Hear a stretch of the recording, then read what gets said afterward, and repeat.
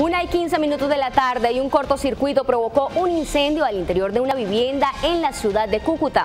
Por fortuna, el hecho no dejó ninguna persona herida. Sin embargo, provocó algunas pérdidas materiales al interior de la vivienda donde se presentó el hecho.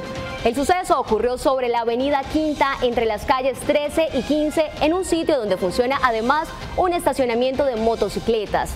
Dos unidades del cuerpo de bomberos asistieron para controlar la conflagración. Alexander Franco, quien reside en ese lugar, explicó lo ocurrido a Oriente Noticias. No tengo certeza, creería que pronto un corto y produjo alguna chispa y cayó sobre un escaparate de madera, creería yo. Sí, claro, por el olor. El olor a humo. ¿Cuántas personas habían dentro? En el momento tres.